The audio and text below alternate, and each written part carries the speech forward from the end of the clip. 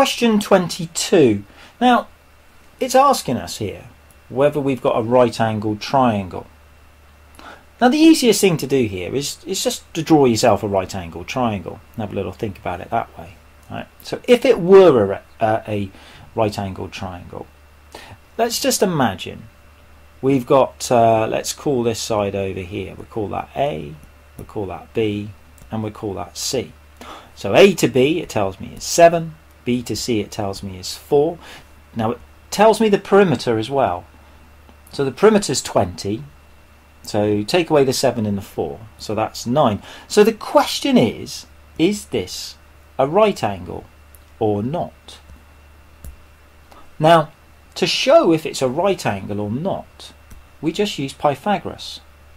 So, Pythagoras, square this side. So, 4 squared equals 16. Square this side. So 7 squared equals 49. So add these two together.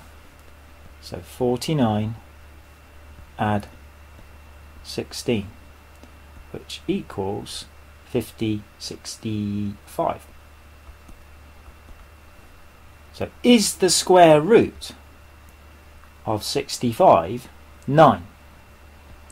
It's not 9. If it were 9, then it would be a right angled triangle. So therefore, it is not a right angle because the square root of 65 is not 9.